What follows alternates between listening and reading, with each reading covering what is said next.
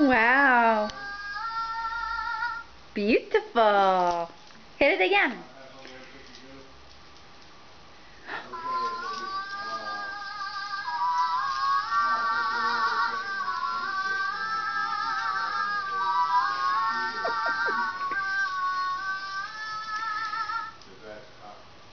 Wow. Yay, Corey.